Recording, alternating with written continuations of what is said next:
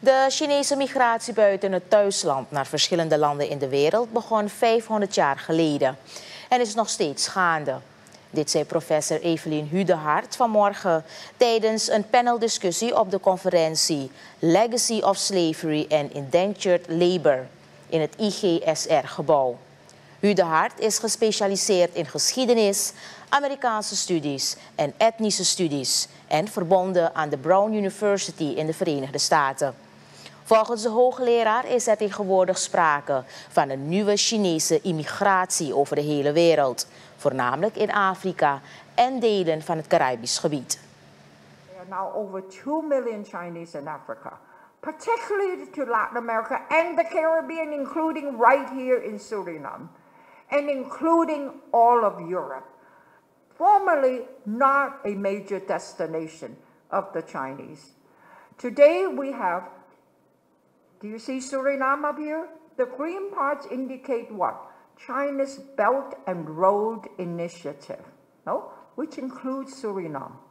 And what I'm suggesting, but I don't want to go into it, what I'm suggesting is that this new wave of Chinese immigration takes shape and form in the wake of the Belt and Road Initiative.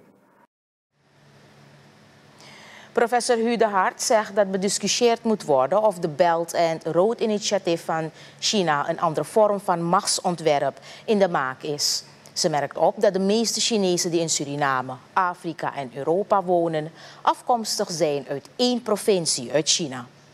Remember the Chinese diaspora always involves one major province and they're always coastal provinces for obvious reasons.